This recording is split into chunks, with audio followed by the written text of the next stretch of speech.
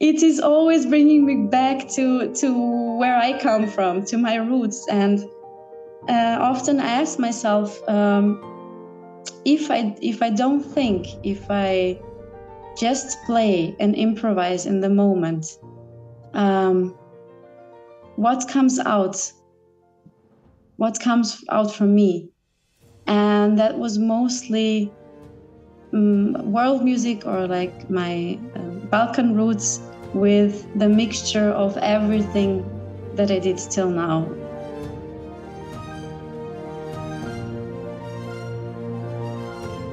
Vanja, it's it's so great to see you. And the last time I saw you was um, during lockdown, and you sang so beautifully for me on the oh, stage. Thank you. yeah. I remember that that video video got quite a lot of reaction. And I remember somebody wrote to me, somebody that I didn't even know that wrote, and who's this beautiful, uh, who's singing, uh, you know, and, and who has this beautiful voice. So I oh. always remember, yeah, I always remember that video very fondly.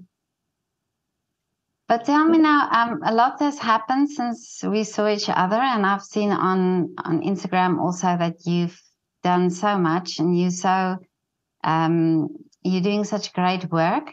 And I recently saw that you did this um, piece, this music arrangement uh, for a documentary. Tell me about yes. this. Yes, that's a documentary um, about um, a nuns uh, in a female monastery in Montenegro. Uh, a couple of um, guys went to simply uh, on holidays and uh, wanted to visit that monastery and they found out that uh, it's their place where they stayed. So like monastery they have a monastery and then they have they they have the building that's uh, where they were living in. So out of some political reasons uh, that got destroyed. Um, yeah to get some votes. I don't want to get so much into yeah into that yeah, yeah. yeah, into the politics yeah mm. anyways they decided to um, try to gather some money for them and to make a documentary about them so that they would uh, it, so it would be like a humanitarian thing uh, so they would get uh, gather some money to help them to rebuild and um, they are getting some help um, the documentary is still not released because uh, the nuns asked us uh, not to do, do it as long as they don't get the permission to build oh, uh, again, which is yeah, which is fair and uh, yeah. completely right. They don't yeah. want to go and get into any troubles, of course. Of course, exactly. we also don't yeah. want to get into any trouble. so yeah, and they um, they asked me then to arrange a song that um, uh, someone wrote for um, for the documentary mm-hmm. lyrics and uh, melody, and I arranged. I made the whole arrangement, and okay. I had an yeah. So I had an idea. This song already exists, mm. and uh, was uh, the melody was written by someone else and I had an idea to make it with more voices. So uh, because beautiful, yeah, it's beautiful, really. Yeah, because it's an Orthodox uh, in Orthodox um, churches. Mm. Um, only voices are singing, so there is no, mm. there are no instruments. I did add instruments, but I wanted to make it a little bit closer to uh, a church music, uh, oh, yeah. Orthodox church music. Yeah. But this is um, was for me, this was for me so interesting that I felt you you feel something when you hear this uh, music and when you hear the singing. Um, and I recently did an interview with a professor at the at Potchefstroom University. Well, I say Potchefstroom, it's got another mm-hmm. name now, but uh, Northwest University. And he actually did a project where he um, investigated how we, without understanding the words of a song, the lyrics, that we could sense what it's all about. And he had artists that that did um, artworks from music that they didn't understand and they were actually spot on with what the meaning was from you know from even the words that they didn't understand.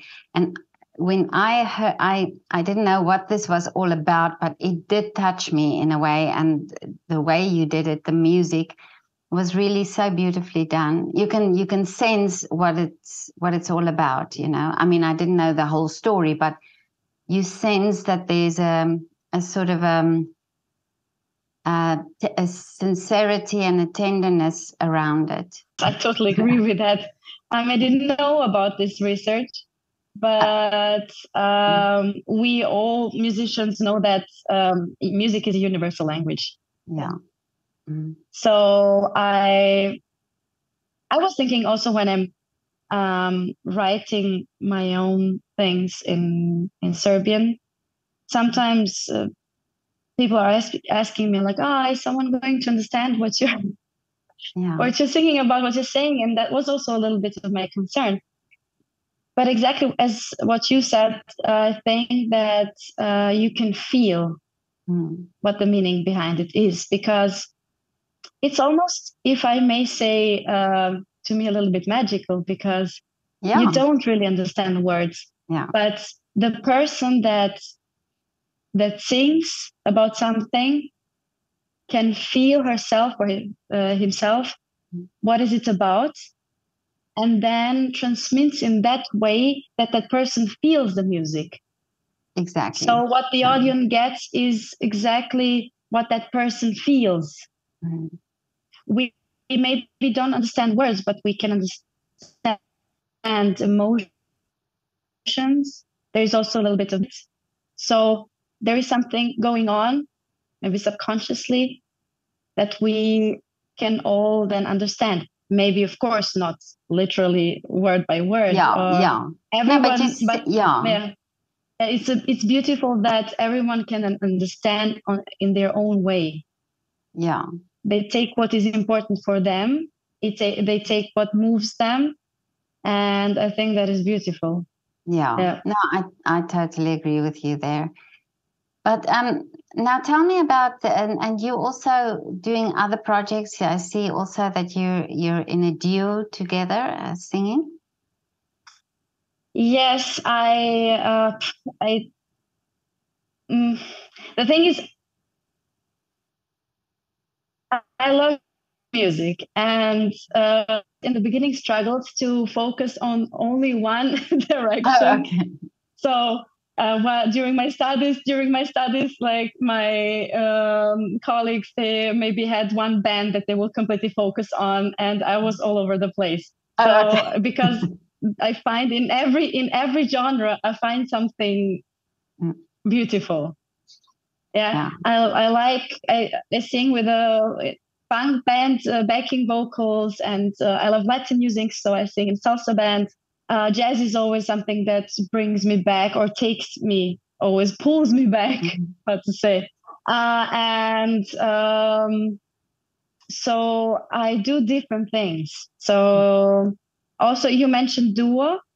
Yeah. That is that is um, with my colleague from uh, salsa band. We actually also started together. Uh, so um, her name is Anna Maurer, Maurer. And um, we just like to play together and decided to record uh, the Peacocks uh, jazz piece. And uh, we once met at her place and we are just jamming. Actually, we were uh, rehearsing for uh, for next concert for salsa band and then I said like, oh, it would be nice to do something together because uh, I think we understand each other very well. And I told her that I like this song very much, and it would be nice that uh, maybe we try that. So we uh, tried to jam a bit. We played, and it was perfect. We understood each other without mm. any words. oh, that's, so, that's great. So there was really no, we didn't need to rehearse much. We just met and we played and and that was it. It's it's we understand each other in the moment. And that's why we decided then to record uh, that song. We actually recorded two songs. The mm-hmm. other song I didn't release because uh, we're thinking of uh, recording an album. Okay. Uh, the end of from end of August when when I'm back from Serbia. Okay. Um, so yeah, I hope that will happen um, because I think working with her is mm. wonderful. Well, what I've what I also hear from other musicians and well, also from from different people and in different fields of art, that you learn so much from each other when you work together, when you collaborate like that, and you get something from each other. And uh, I remember talking to a duo, um, a harpist and a, and a soprano, and they also talked about this, where you almost um, uh, you learn or you you you get what the other person's doing, and that also makes an influence on what you're doing. I think that when you play together, you do learn a lot from each other on the spot. Um, I think that's why it's important to listen to each other, uh, to listen how the other person is phrasing, for example, or what is their style. And it kind of combines with your style together because that person also listens to you. Oh, yeah. And there you create you create a new language um, that you take then with you. and if you them if you play with more musicians often then you will also always take something from them and that's how you also create then your own language.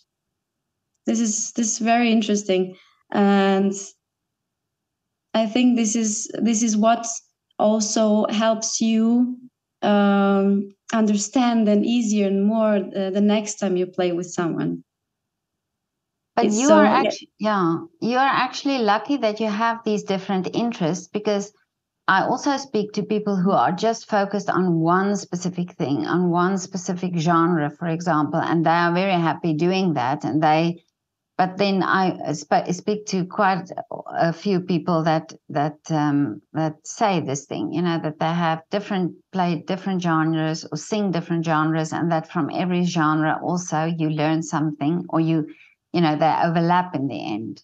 You take something from each genre. Yeah. Yeah um, it's it's also i mean it's it's great when you um, can focus on one genre. Um, and of course in the end there, there is also danger if you do so many different things. Ah, if yeah. you play so many different genres that you will lose yourself or that you will lose your authenticity in the end. So it is always important to keep the balance. So uh, while uh, during my studies at the, as I said in the beginning, mm-hmm. I was all over the place. I tried. I did musical. I did. Uh, um, I don't know, jazz and funk and soul, and uh, did gospel. Um, but interestingly, in the end, it always uh, calls me back to my roots. Really. Um, my mother told me once while I was uh, playing classical violin, she told me, "Oh, you have a beautiful voice. You should sing uh, our folk music." I was like, "Nah, I'm not gonna do that. I'm way too cool. I want to do some cooler stuff. I want to do like funk, and I want to do jazz. I, I love jazz and Latin music, and but in the end, now I see that she was really she, was, she was right um, it is always bringing me back to to where I come from, to my roots, and uh, often I ask myself um, if I if I don't think, if I just play and improvise in the moment, um, what comes out? What comes out from me? And that was mostly um, world music or like my uh, Balkan roots with the mixture of everything that I did till now. Like from wow. mm. it sounds sometimes a bit jazzy, sometimes uh, like film music, because it's all combined with everything that I did till now. And I think that's now only I am seeing that or getting the form or of my authenticity. Because I thought I was I thought that was a struggle for me. I thought that really? like oh my god, I talked to my I talked with my professor, said, Oh my god, like everyone has their own way and I'm I I cannot decide simply. But she was um, she's a, she's an amazing uh, professor and um, she, she, told me just to be patient uh, patricia simpson. Okay. Yeah she's uh, teaching on mdv and popular department and she told me to be patient mm. and and from that's also me being interested in more genres is not really a bad thing yeah but maybe you had to do all that to to be able to find what what is I think yours. so. I think so because before before I um before I started singing, I was I don't know if you know I I was a classical violinist. Oh, okay. I grew, I grew up as a, a classical musician mm. till I was I don't know, let's say 19. Okay. 19 or 20. And I was focused on classical. Mm. And I had the mindset of a classical musician. I would play everything that was in front of me. I was, um, but the thing is that I mean, that was amazing. I learned so much. But always in the in the back of my head, I was wondering, hmm, how would it be if I would improvise, or how would it be um, if I tried something else? I even asked a friend of mine um, while I was still in Serbian school like did you ever do you ever have the wish just to to play maybe another instrument mm. And he played cello I said no for me cello is that's it and he still really? plays cello he still plays cello and my questioning i was questioning back then and um, i mean i'm not playing violin uh, I, I am playing violin still but yeah. out of the uh, some other reasons i had some troubles some physical problems Mm. So I had to stop playing violin during my studies here. But after after some time, after I healed, I started playing again. And um, since I do also another type of music, I understand classical um, a bit better. Really, I can see from from a different angle. I am. Yes, after uh, studies of, uh, studies of jazz harmony and composition, I could see a lot of similarities too. Mm-hmm. And and the way I play violin now is is of course a bit different because I oh, don't yeah. have anymore that pressure you have to, you know, achieve, you have to be good, you have to like I just started playing it uh, playfully. Oh, okay. Mm. So yeah. But- yeah but now um, it's i think it's more difficult to improvise you know because you uh, with when you when you have the notes in front of you and you have and you know how to play it it's i wouldn't say easy but i mean you have the structure. But the moment you have that where you step out of that structure you have to think differently.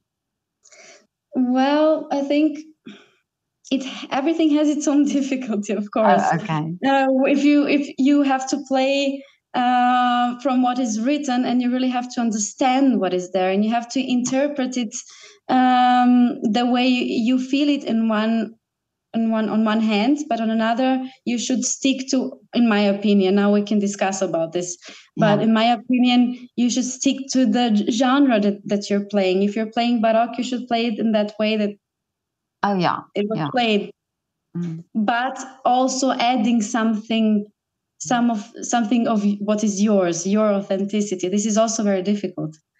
But it, with improvisation, it's also difficult because your improvisation is basically composing on the spot. Oh yeah. But there are always you also have a form. Mm. If you if you practice improvisation in the beginning, it's it's maybe challenging and difficult especially for me it was as a as a classical musician it, it took me some time because oh my god i cannot improvise that's, that's, what uh, so many classical musicians say no i cannot do it but they can mm-hmm. you have they have such a developed hearing and amazing skills on their instrument so they can do it and of course they have imagination and they have oh, yeah. creativity but simply because you're used to mm. play from the notes you are afraid of everything people are afraid of everything that is new. Yeah. But once you get into improvisation well it's i cannot say that it is difficult. Mm-hmm. it's simply different. It's as you said a different mindset. Yeah. you learn you all you know the uh, you need to know the harmony that is happening in one piece. And then you practice over that harmony. And once you learn what is there where does it lead on the stage you forget everything and then you trust your instincts and then you trust your oh, okay. your subconsciousness and it comes out naturally in in in um, best case scenario okay. so you don't anymore think oh my god now this uh, chords leads to i don't know this harmony and now i need to i need to harmonize it right away no it's you just let it happen you you're like um, explorer on the stage. Amazing. But do you did that also by playing the violin and knowing the music? Do you think that also helped when you started singing different genres that you knew you had the basis? and know, yes. you knew the music. Oh, that helped me a lot. Mm-hmm. Like um I already, uh, as you said, I knew the music and uh, it helped me. I was faster. Okay. If I would have to learn something new, um, because of violin, um, my intonation was never really a, a thing, never really a problem. And you can learn faster if you have the classical background. So I think I would agree. But of course, I know also a lot of uh, a lot of other colleagues that don't have the classical background, but they're so talented and they are also as fast as I oh, really in learning as I am. Like everyone has, you know, it's it's always difficult to say, you know, what is better and yeah. what is not because it's um, it's never black and white. There's yeah. oh, it's always in the in the middle. So there were things that I was struggling with um, that were easy for someone who didn't have the classical background, and the other way around. Yeah, I was struggling, for example, yes, with with this uh, freedom of improvisation mm-hmm. And of letting go the notes, not learning anymore by what was written, because especially in jazz, we do have like uh, something called the um, real book or a fake book with lots of songs written, a lot of jazz standards. But also the written songs are they're like just um, how do you say skizze? They're like just a, uh, orientation. Okay.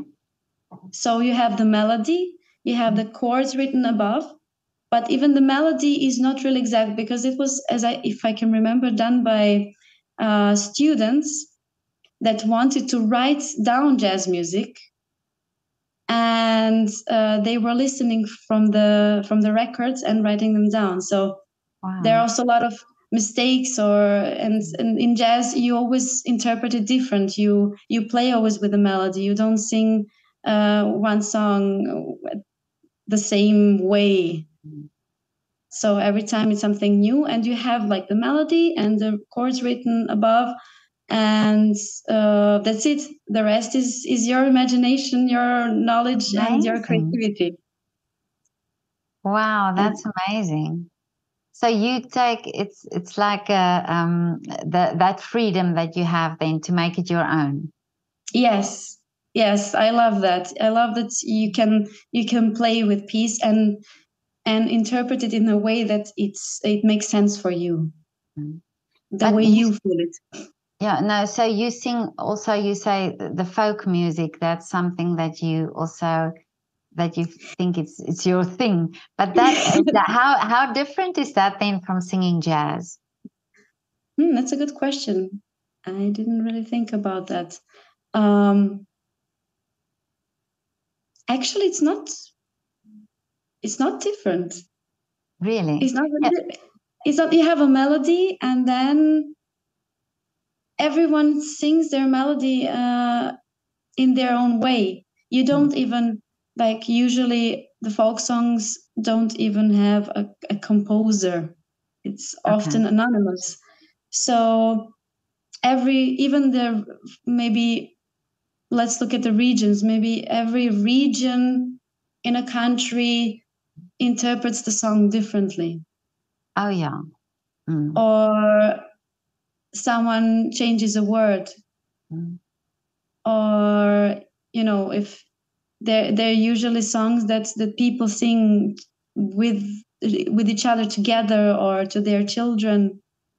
So they they always give something new. Yeah, that's that's actually true because in Afrikaans, if I think Afrikaans folk songs, also we do that. You know. Yes. It sometimes change certain words change in certain areas of the country. Yeah. Maybe yeah. that's why it fascinates me. It fascinates yeah. me so much. Mm. And it, it it's really not really like Balkan music. It's in general folk music. I I am I love Celtic music and as I said, Latin American music, and actually any music that brings the culture of one country, of one region, of one mm. culture. Um, that fascinates me because these are the stories that are very authentic and and if I may say raw, something that yeah. comes from the people's uh, wishes and suffering and their daily lives. And exactly uh, yeah. it is a mirror of the culture actually. 100% yeah. It would be fascinating um, to hear you sing afrikaans. Oh afrikaans i will have to songs. try. Next time we meet I yes will, I will do that. I will do that. Yeah that would be so interesting. But um but you also teach because we spoke yesterday and uh, you have a student that you supported with the exam. So tell me about your teaching. Yes. Um, How did it yeah, go for the exam, by the way? Uh, it was a competition. Oh, a competition. Okay. She, she got the first prize. Oh, wow. Congratulations yeah. to her and to you. And thank you. And she's also invited to go to national competition in wow. in September. I'm so happy, and she's also because yeah. uh, I don't. I told you that she she got sick a couple of days mm-hmm. ago, and her voice was not fit. But I was so proud of her because she managed to, as a professional, to uh, work around the difficulty that uh, she has while being sick. Like you often, as a singer, simply have to sing. I sang musical with a very high fever and and such a big throat pain, but you still manage it if you listen to your body, if you if you know from where to get the energy. So yeah, and this is me part as as a teacher. I like to I think what is the first most important thing for me is to help my students get to know themselves and their body and how to work with that. To help them uh, really develop their voice in a way that is natural for them. And my professor would say, like, to find the inner voice. Oh, really? Yeah, to find your inner authentic mm-hmm. voice. So, and, yeah, and this is uh, obviously part of it because when you play an instrument, it's it's the instrument, but when you sing, it's your voice that's the instrument. So whatever you feel that day, or um, you know, also it it must be affect the voice. You know, if if you have also a bad day, or if you are not feeling well. So it must affect the voice. So I can imagine that it's important also for a singer to learn that. Yes, yes, it's mm-hmm. it's really important because as I said, you don't you often don't have this uh, liberty to say to say no. Yeah. And um, but it's good because you learn your strength. mm. and you learn actually that you can do much with your voice and then you can actually uh, do a lot i think that the people often think that a voice is so fragile mm. but but it can handle so much actually oh, really yes um, and of course it's very individual you have mm. to yeah it depends on the person and uh, yeah but I, I i saw in my work and working with others that like you should be careful with your voice but again not too careful. Because if you start being too careful believe me you you will start feeling sick oh really? it will be like oh i have to be uh, not too cold not too uh, not too sour.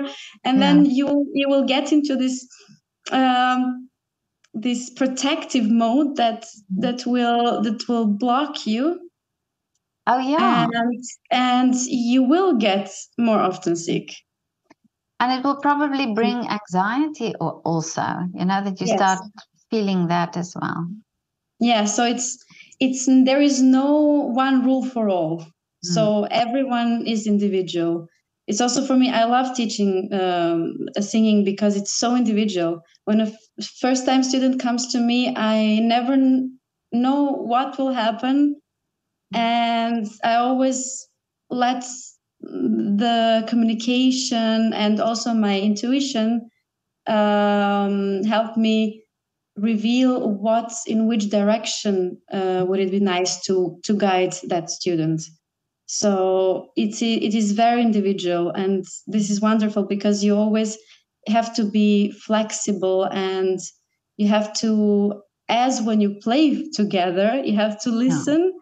And you have to um how to say um you have to be flexible to to um i forgot the word mm. um, to simply doesn't matter. Uh, you have to simply um, be open mm. to work differently with oh, I see, each yeah. student. So if mm. You do what the student needs. Mm. And my my another uh, singing professor told me once because I I was often in the beginning giving too much of myself and trying giving too much energy and and she told me like you need to leave the space for the student to also take responsibility and to decide where that student okay. where she or he wants to go mm-hmm. and then you give that what that student requires from you. Oh i see yeah. Oh that makes sense. Because everybody yeah. also develops at their own pace. Yes. Mm. yes and that is so that is uh, so visible with singing.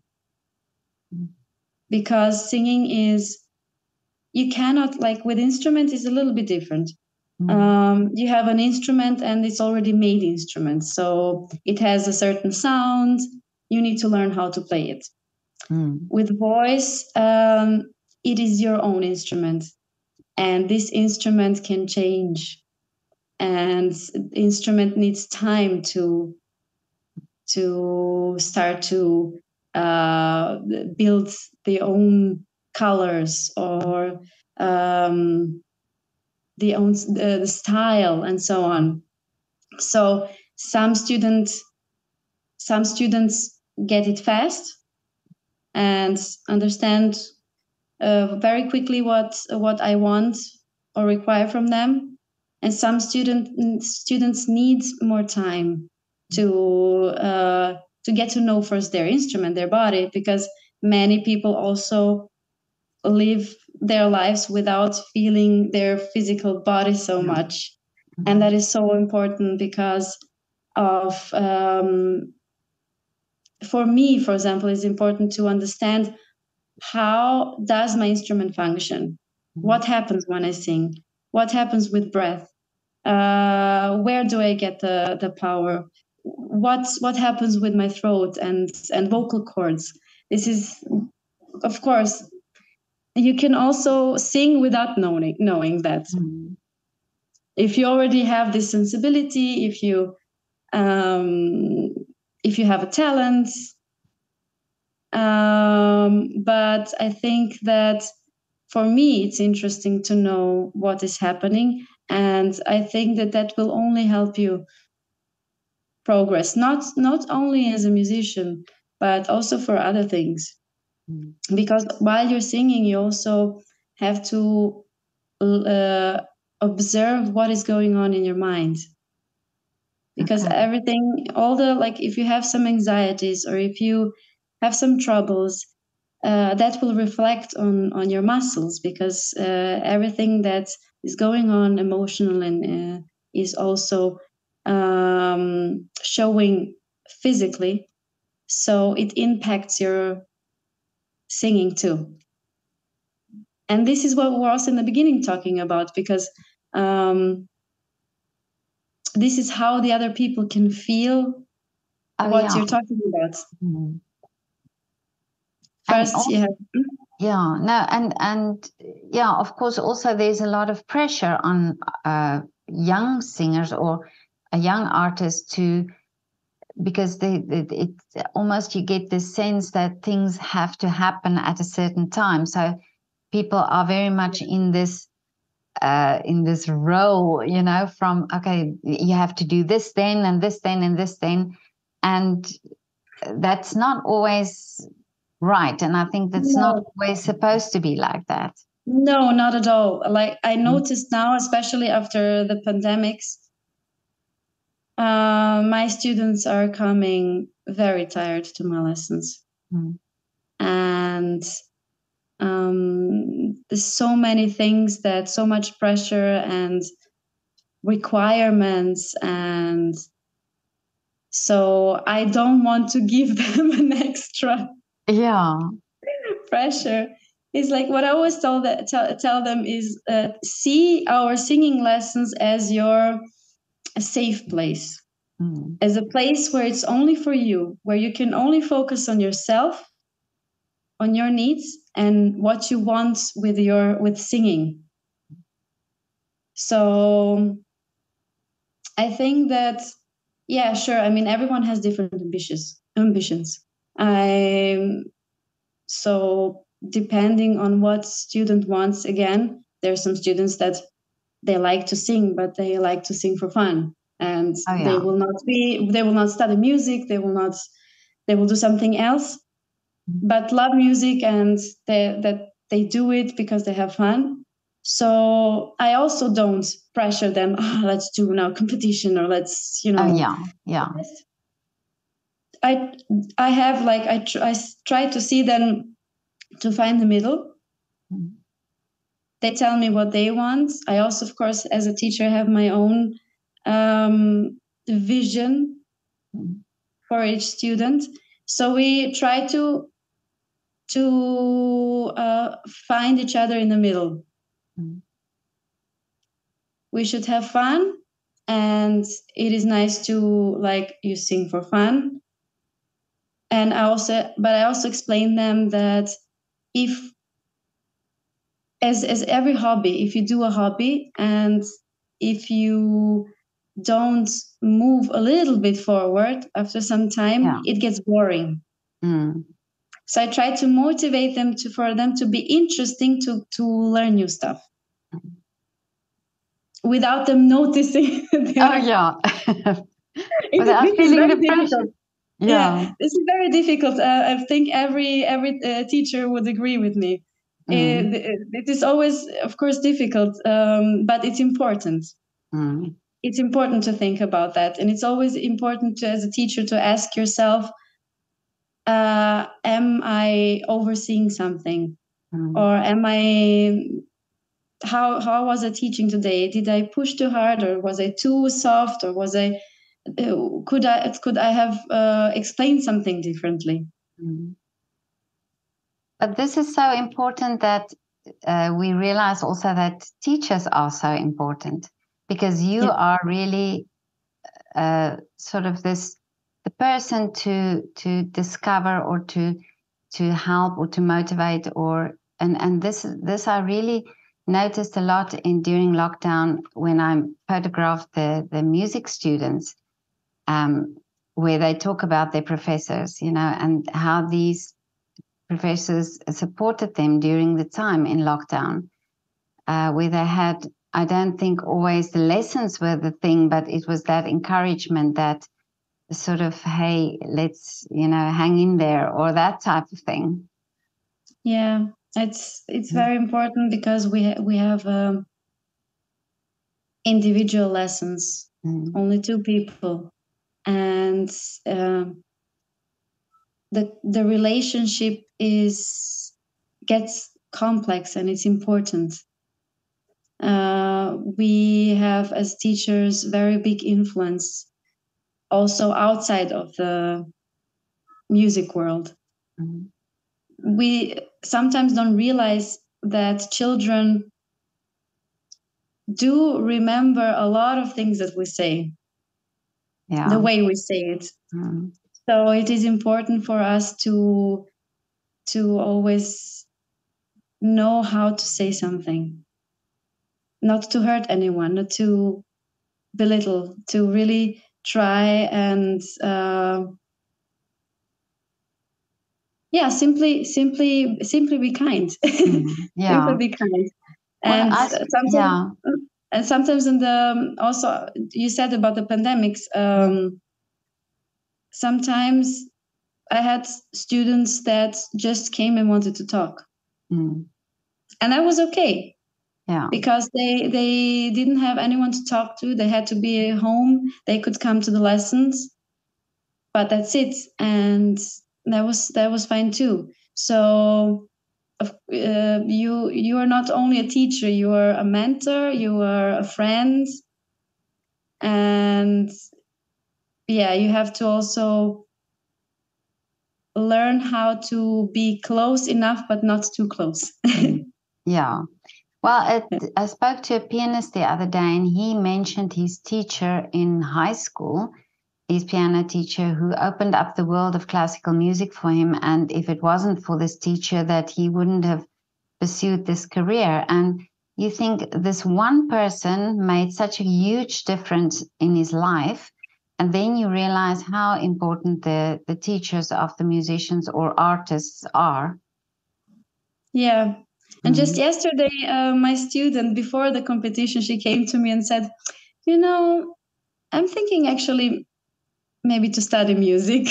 Really? yes. Yeah. support you. yeah, you see, so you're, yeah, right that yeah. you have this, that's that influence on her, not influence in, in that positive influence on her. Yeah. But yes i also i, I remember all of my teachers. Mm. and they were all part of my musical family.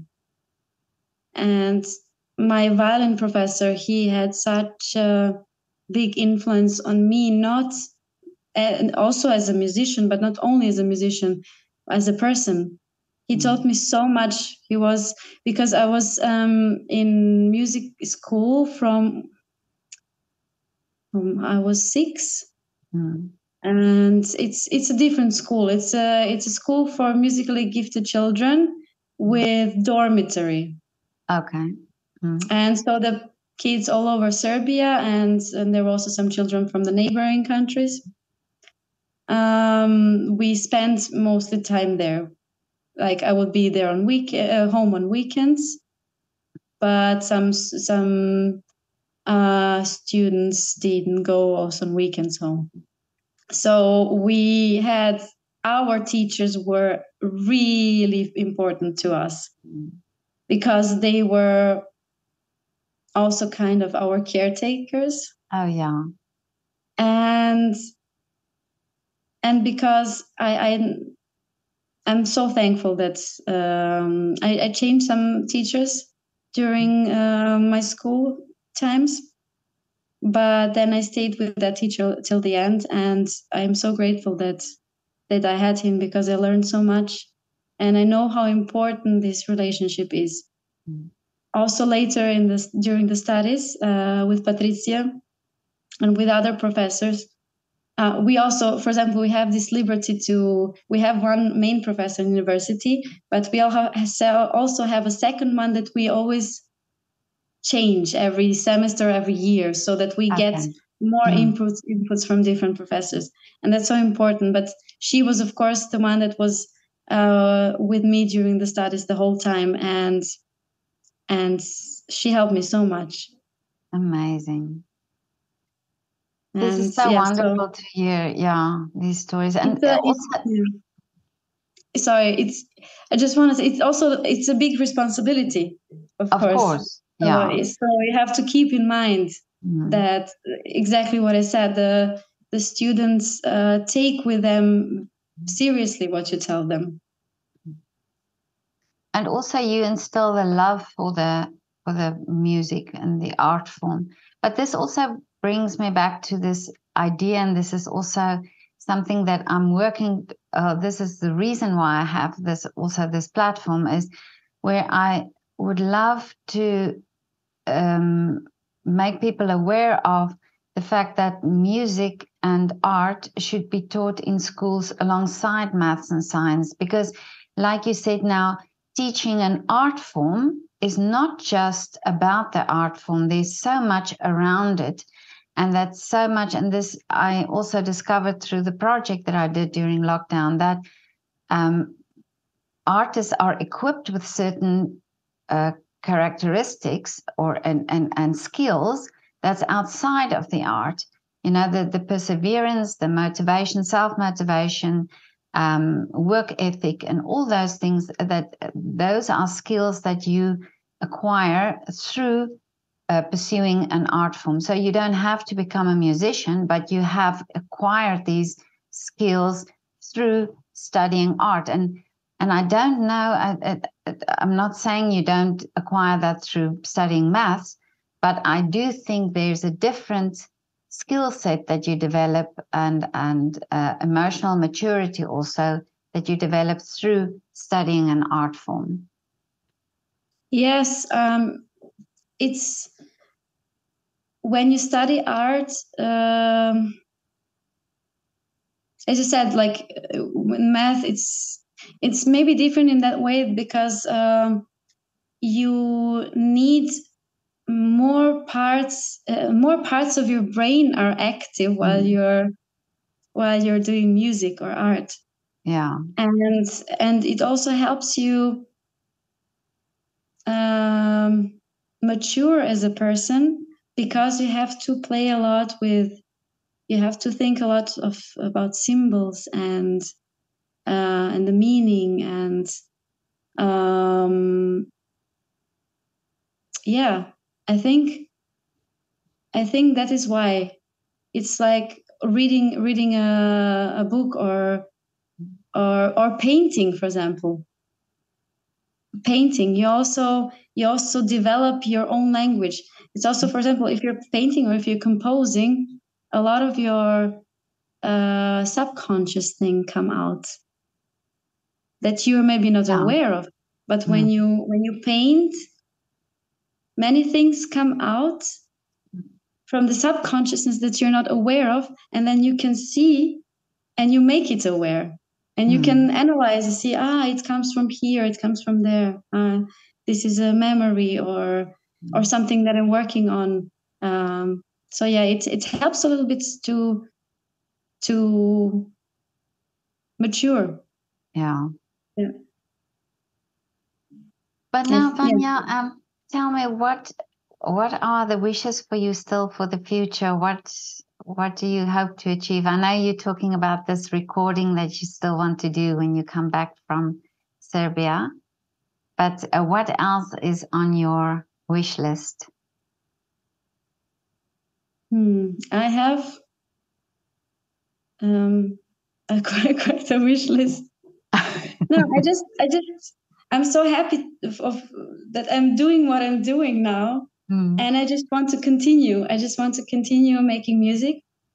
I want to maybe, if if I have time, I would really love to get more into the folk music from uh, from different countries to do a little research there and maybe combine this this music. Also, this Balkan um, jazz uh, trio um, is. I had an idea to start to arrange the songs from uh, from Balkan, mm-hmm. but to play it with different from with musicians uh, from different cultural background. Oh yeah. So that they will bring something of their own, and then they will we will make like a cultural mix. Yeah. That is my that is my vision. That is my wish to do. I that. love that. I love that. that has to happen. yeah, I, I, hope I hope that will happen. Like I don't know from. Uh, to, and I I to, just want to throw an Afrikaans song in there. Yes, yes. Like to use like to use also really different instruments and yeah um, that are not typical typical for from where I come from. But to play with those instruments, um, the music from from my childhood or from my yeah. region, for example, mm-hmm. and I simply want to learn more. I want my wish. I want to learn more, and I'm as a teacher. I my that is also the same wish i simply want to to progress and to to develop myself uh, into a better teacher to um, i want to help people for music and for teaching to guide them wherever they want to go mm-hmm. that's beautiful that's really beautiful. Mm-hmm. but now um thank you so much for your time and thank you. talking and for sharing all this uh, with me. And and really i i think uh, you are doing great uh, the way you approach your teaching. And of course i think a student can be very lucky if they can have you as a teacher but yeah, please let me know when when you have this band and these. Um, and also, I would love to hear this recording that you're doing the end of the year. So that would be great to hear. Yes, I will. I will send you something that now I'm I'm working on. It's almost yes, please. I, I so love your voice. Really, so beautiful. Oh, thank you. Yeah. Thank you. Okay, Vanja. Have a lovely weekend. You too, and thank you for the opportunity. It was it lovely was, to talk with you. Well, it was a great pleasure to talk to you. Thank you for your My time. My pleasure. Okay. Thank you. okay, bye. Bye.